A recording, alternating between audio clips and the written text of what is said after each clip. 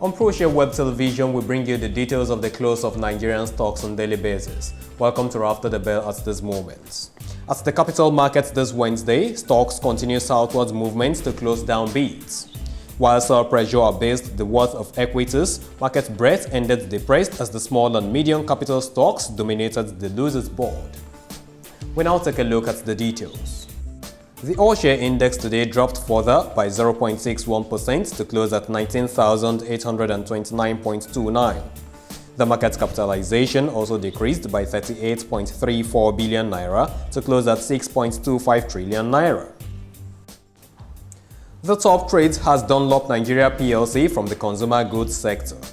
The company traded a volume of 63.47 million units of stocks, while United Bank for Africa UBA had 51.55 million units off, and Zenith Bank PLC traded 30.34 million units. The total traded stocks at the bourse was all valued at 1.13 billion naira.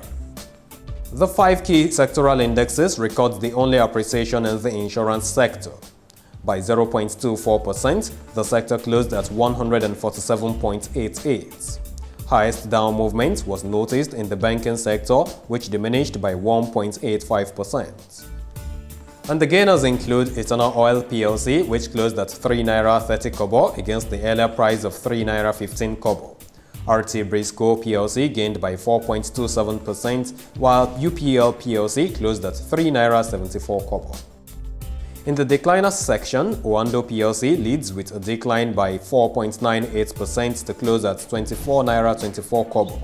Diamond Bank PLC ended the day as 2 naira 50 kobo, while Bako descended by 4.79% to close at 1 naira 59 kobo.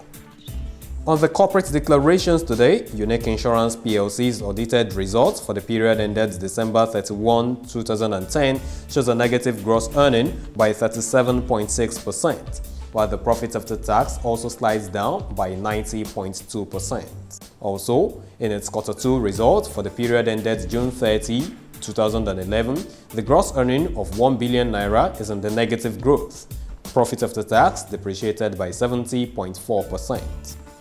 Finally, Ikeja Hotel PLC's quarter 3 results for the period ended September 30, 2011 scores both a negative sum of 5 billion naira and a negative amount of 826.8 million naira.